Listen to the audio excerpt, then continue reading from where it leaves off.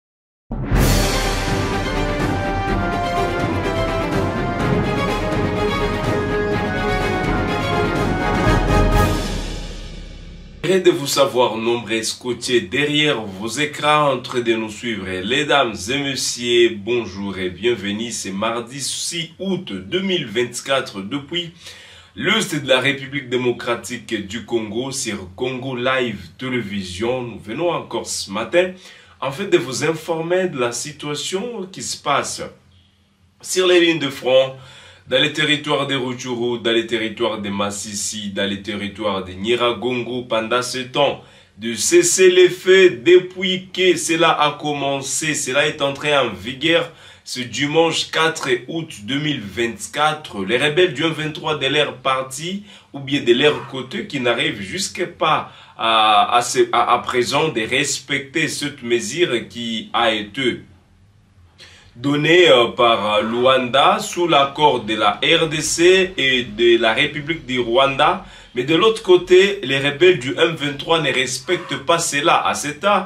comment se comportent les forces armées de la République démocratique du Congo À ce temps, comment se comportent les forces Euh, des Wazalendos, c'est VDP, volontaires, volontaires engagés euh, pour la défense de la patrie. Ils sont des volontaires. Bazana bango ba volontaires. Oyo bandima kowa pona ekolo na bango na mokolo mwa lelo toye kokabela bino basango ya makambo oyo ezoleka na kati ya mboka na biso le temps ke tokodecrypte elongo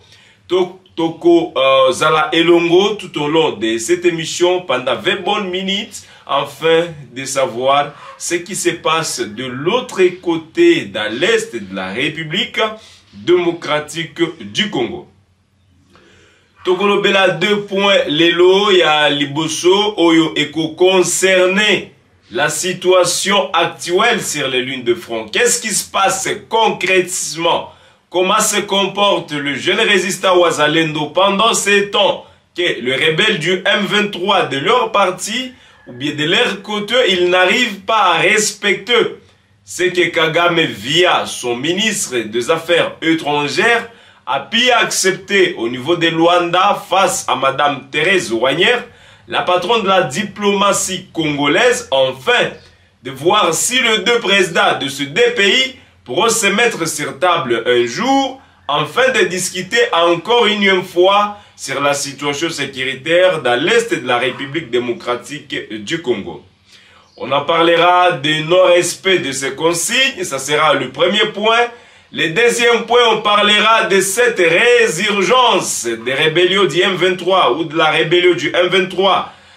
Des rebelles du M23, il y a déjà un problème. Au-delà de cette résurgence, cette réapparition de ces rebelles du M23, a aussi créé un problème via l'Ouganda.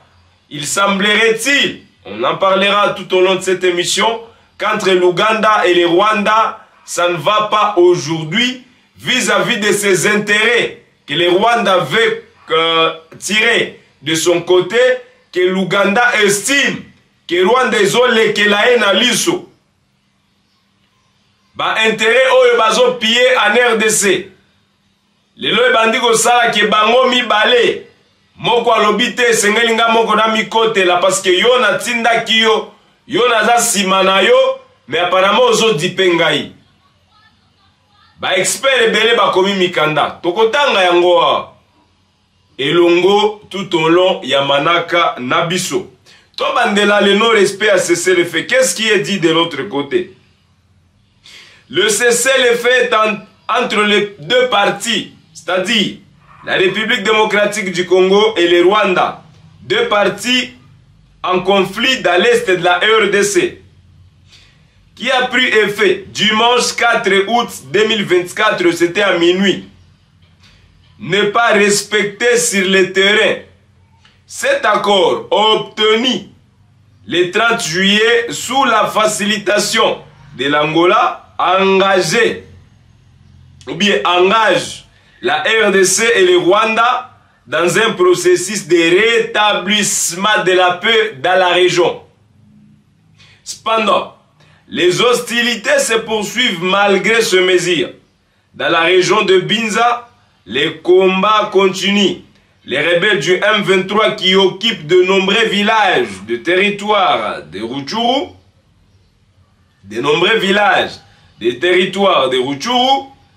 Masisi, Nyiragongo ainsi que Lubero poursuivent leur attaque et avancent vers de nouvelles zones.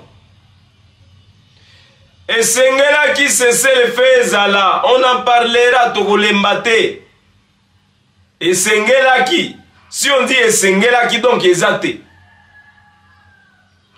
sese le fait etikalaki na luanda selon certain sese le fait eza na luanda c'est la table diplomatique wana nde sese le fait ezali pourtant ke bisika oyo sese le fait esengelaki emonana na miso aleini ezala claire c'était sur le ligne de front Mais les rebelles ne respectent pas cela. Bango bazo avancer. Bango bazo continuer. Yango boyokaki Ishach ekweyaki cité frontalière, cité stratégique comme Bunagana. O Ishach wana. O eza na kati ya frontière entre Ouganda et RDC. ekweyaki ekweyaki na maboko ya ba M23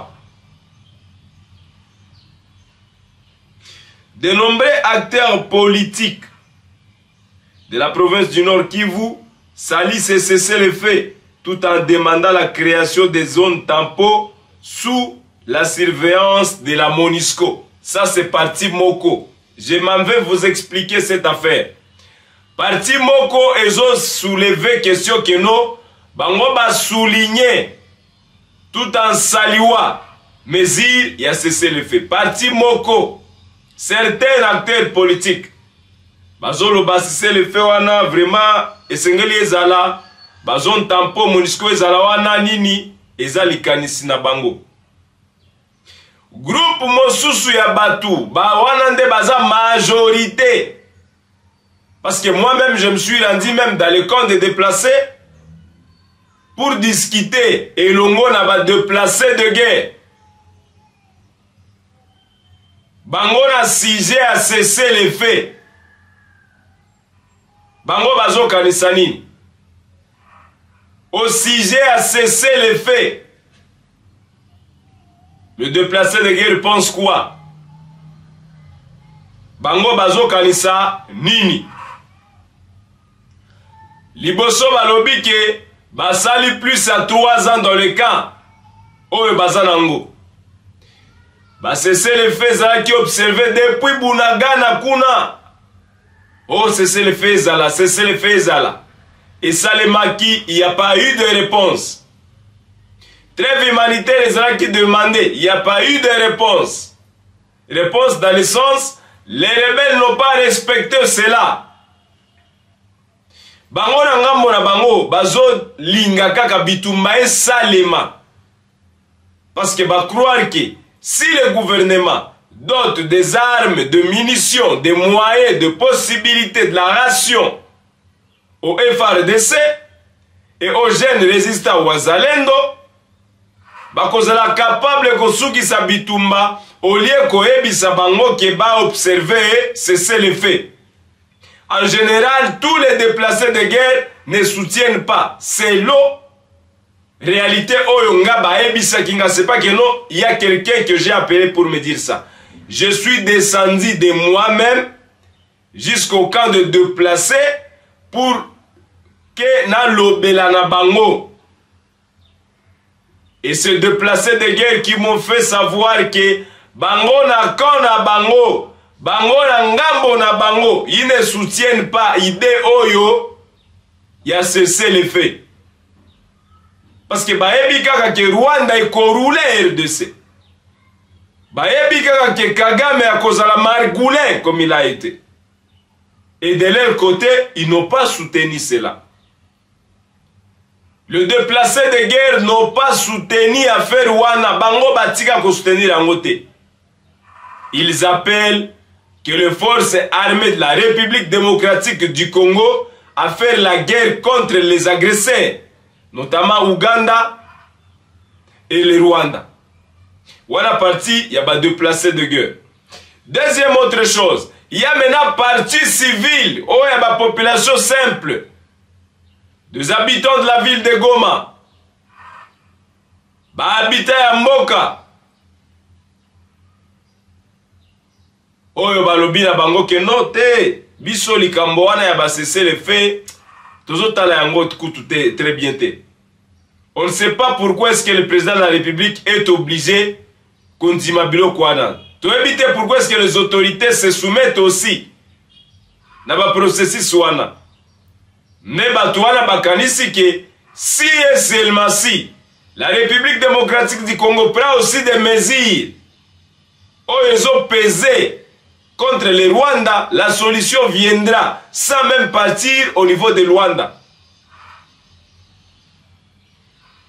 Parce que Kagame ne respecte aucune personne à titre ya homologue na ye na Afrique. Alobi azotosa mutu te. Parti mosusu elobi nous ne voyons pas un président qui pourrait venir et dire à Kagame de retirer ses, ses troupes au sol en Afrique et puis ayoka ye. Bango balobi bayebi te ke akozala moko ya bato oyo akobenga Kagame ayebisa aretire mibali na ye andima. Yango bango bakanisi ke kosala pe bitumba lolenge ya kosala bitumba direct na Rwanda ekozala pe moyen oyo ekopusa Kagame azonga na nzela ya koyeba ke esengeli aretire ba troupes na ye sur le sol congolais. Yango wana tendance ndenge ezali. Bamoko balobi biso toza pour que eloko wana esalema, wana eza minorité, quelques personnes, quelques politiciens, quelques acteurs ya politique oyo bazokanisa lolenge wana mais majorité ya bapopulation surtout badeplace de gueux Ils ne sont pas d'accord na eloko wana. Notre souhait est que ceci soit respecté par tous. Donc, ezala eto sama na batu nyonso, ezala ba oyo bakozala wana, ezala ba oyo bakozala te, oyo akozala libanda ya mboka, ezala batu oyo ya Kagame, ezala batu nyonso oyo esengeli bazala wana, bango nyonso babengami lelo kotosa likambo oyo ezosalema na kati ya République démocratique du Congo parce que eza pona kimia soki kimia eye bamboka nyonso oyo baza bavoisin na yango bakomi retrouve na kati ya likambo wana soki kimia ezongi bango nyonso ezala baoyo bayokaki keno esengeli bitumba esila ezala baoyo oyo bazobundisa lelo Republique Democratique du Congo. Ezala nani na kati ya likambo nyonso, esengeli bato nyonso oyo wana bazwa lelo conscience na bango koloba eke eza problème oyo ezo affronter region mobimba. Soki region etumbami ekozala yango pe problème. Pourquoi? Oyo ezo mituna lelo pourquoi est-ce que bamoko baza un peu épargner na kati ya likambo parce que bandaki eza bango nyonso oyo bazo anticiper na bitumba dans l'est du pays est ce que lolenge wana nde tokokontinue biso tozokanisa keno bitumba oyo tokosala na kati ya mboka na biso ekozala moko ya likambo oyo ekosunga biso pour ke kimia ezonga na kati ya mboka eza mituna tozomituna eske esengeli baautorité oyo bazotelemela makambo na kati ya mboka na biso bazala encore plus ferme na kati ya likambo bazoloba batiki koloba ke bakonegocie jamais na barebele ya m23 bazonegocie na rwanda bazosolola na rwanda me rwanda wana ezo e, e, ezo rearme bandeko na bango oyo baza sur le sol congolais bawana kaka bazondima te ke likambo ekosalema pour ke bitumba esila na kati ya mboka na biso nini esengeli tosala Le temps que tozo silisa nini esengeli tosala est-ce que esengeli to observer kaka attitude ya koloba toko négocier toko dialoguer plus jamais aussi longtemps ba retirer ba troupes na bango te c'est le sol congolais biso nde esengeli totala parce que toza na bana toza na bamama toza na bitike toza na bato ebele oyo lelo balingi bamona mpe ekoma une réalité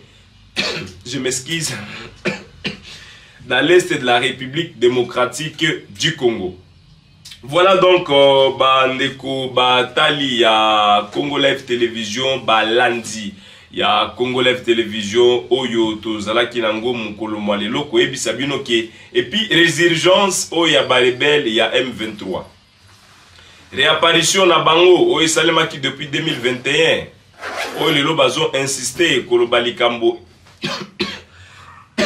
ezosalema bazo insiste parce que bayebi ke na ngambo na biso tozotia bango na mopwa te esengeli to insiste totia poids to continue kosala likambo ndenge ezosalema toyoka likambo eh, ndenge ezoyokama mais également to accéléré totia pression tokende liboso tokende mosika ya bisika oyo tozali Tokanisi ke elongo soki toza elongo na kati ya bitumba oyo tokolonga yango. Tokanisi ke soki totie makanisi na biso nyonso elongo, mayele na biso elongo, tokomi bomoko sima ya ba FRDC, sima ya ba jeunes resistants wazalendo, tokanisi ke bitumba oyo tokosilisa yango. Tokosilisa yango te kaka koloba kaka. Lolenge tozoloba tokozala sima ya uh, sima ya ba FRDC toko tombola bendele mpo toloba ke bendele ekweya te kokweya te parce que bakongole baza wana me nini oyo gouvernement congolais ezosala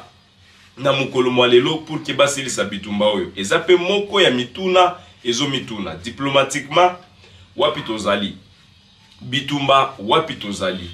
Ba mecanisme nini oyo tozo mene lelo? Tokosilisa bitumba na moyen terme oyo ekozala lobi boni ekozala na long terme boni ekozala à long terme boni ekozala mpe ekozala moko ya makambo oyo ekosunga biso pour ke lobi to lobi kuna tozala bato oyo tokozala independant To dependre na biso moko. To dependre na batu te. Solution ya bitumba oyo ekoya libanda ya mboka te. Ekoya na kati ya mboka na biso. Ekoya awa. Ekoya epai ya ba Congolais. Ekoya epai ya FRDC. Ekoya epai ya ba civils oyo bazo soutenir mapinga ma ekolo. Ekoya epai ya gouvernement Congolais. Eza responsabilite ya gouvernement Congolais ko etablir ordre. Kozongisa kimia. Kosala makambo nyoso esalema. Sinon. Kimia ekozonga te. Rwanda eko continuer kosala biloko na bango. Rwanda bakotikaka jamais parce que bazo envier biso. Uganda bakotikaka jamais parce que bazo envier biso. Entre bango lelo bazolinga babunda, bazobundana pa bazolinga. D'après ba experts moko balobi ke Uganda na Rwanda bazoyokana te parce que eloko oyo ezoleka na kati na bango Uganda emoni ke Rwanda ezolekela ye, ezoleka, ezolia ebele koleka oyo ye pe esengeli ami retrouver. Na kati ya bitumba dans l'est du pays ekomi makambo ya ko mi retrouver. Soki Rwanda emi retrouver, esengeli Uganda emi retrouver, esengeli Kenya emi retrouver, esengeli Etats-Unis emi retrouver, ekomi biloko ya ko mi retrouver. Bango nde ba ko mi retrouver kaka na mboka na biso, esengeli biso pe totala mosika komona boni tokokata. Est-ce que toza na oyo biso pe to mi retrouvaka na ba mboka na bango? Eza te. me esengeli tozwa mayele esengeli tozala bomoko esengeli bagouverna oyo baza baautorité congolaise bazwa baresponsabilité na bango batika komiplaindre batika kolela oyo oh, kolela eza biloko batikela bacivile oyo oh, bazolela kimia bazolela kimia bango mpe bakolela kimia te bango baexécutif esengeli bakota na kati ya champ d'action pour ke bamema kimia ezala réalité na kati ya mboka na biso badefi ya affronte eza ebele Bato ebele baza na ba problème na kati ya mboka epuis kimia esengeli ezala eloko oyo ya ko rassurer bato bazo kufa na kati ya ba mboka kobeta bango masasi kili kili insecurite un peu partout autorite ya l'etat esengeli ezonga autorite ya l'etat esengeli ezonga ezala eyokama emi faire sentir na elongo tokanisi ke nzambe akosunga nzambe akosunga te tant que biso moko tozwi ba responsabilité na biso te esengeli biso moko tozwa yango nanu esengeli biso moko tozwela yango pa ya en avant soki tozwi yango pa en avant c'est-à-dire tokolonga soki tozwi yango na négligence tokolonga jamais bituma tokomeli wapi lelo bamboka ezokende balokalite ezokweya est ce que les rebelles vont se retirer ya maloba kaka boye il ne le fero jamais esengeli tosala bango bitumba esengeli tobeta bango ndenge esengeli esengeli tomonisa kagame ke biloko azosala ekoyokama jamais ekosalama jamais aussi longtemps les congolais soit encore debout aussi longtemps les congolais soit encore viva bakodefendre mboka na bango Nous appelons donc à la fin de cette émission toutes les autorités congolaises à prendre les responsabilités face à danger oyo eza liboso na biso esengeli bitumba oyo esila nous ne voulons plus encore faire un mandat pour que bitumba esila te esengeli ezwa te euh, batemps ebele pour que esila soki eza bitumba tokota bitumba tosala diplomatie tokosala mais sur le terrain esengeli makasi ezala menace nini oyo toza nango sur rwanda nous ne pesons pas menace ata moko si Rwanda. Esengeli pe menace na biso ezala si Rwanda. Rwanda emi sentir menace. Comme ça ndenge Kagame alobaka si le menace ako riposter, to monisa boni toko sala. Ba aventure nini tozo sala. Esengeli bitumba esila. Tozo benga ba autorite ba sukisa eloko wana. Merci beaucoup les dames et messieurs, c'est la fin. Eza suka ya manaka na biso. Nzoto ezo simba te mais tozo benda kaka pour que topesa bino ba information esengeli topesa bino nzoto ça ne tient pas mais tozo sala oyo quand même esengeli tosala pour que totikela bino au parfait ya actualité. Lelo mardi, lobi mercredi, on se fixe un nouveau rendez-vous.